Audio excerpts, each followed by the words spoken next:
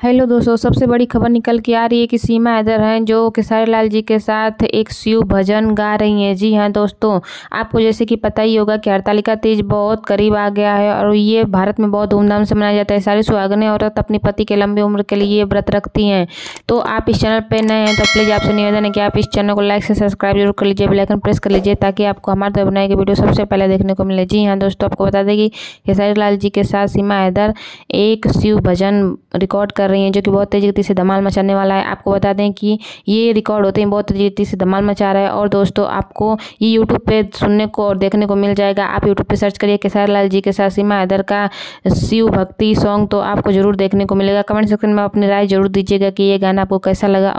आपको बता दें कि हरतालिका तीज पे यही गाना आपको जहाँ तहाँ बजता हुआ सुनाई देगा। जी हाँ दोस्तों अभी अभी ये न्यूज़ आई है तो इस पे सचिन भी बहुत खुश हैं क्योंकि उनकी पाकिस्तान से आई हुई बीबी उनके लिए हरतालिका व्रत का, व्रत रखने वाली है। वो अपने हाथों में मेहंदी और निर्जला व्रत उनकी लंबी उम्र के लिए करने वाली हैं। तो दोस्तों, आप बताओ कि कमेंट सेक्शन में उन्हें ये व्रत करना चाहिए कि नहीं। वैसे तो वो भारत में आके हर त्यौहार ही अच्छे से धूमधाम से मना रही हैं तो ये भी व्रत ज़रूरी रखेंगी। और दोस्तों, आपको बता दें कि इस पर खेसारी लाल जी बहुत ही खुश हैं। उनके साथ गाना रिकॉर्ड करते हैं। बहुत तेज़ी से वायरल हो गया है तो इस पर खेसारी लाल जी बहुत ही खुश हैं और सीमा हैदर भी बहुत खुश हैं। उनका कहना है कि वो इस गाने के बाद मूवी भी केसारी लाल जी के साथ बनाने वाली हैं। केसारी लाल जी का कहना है कि इस गाने से जो भी इनकम होगा, उसका फिफ्टी परसेंट सीमा हैदर को देंगे।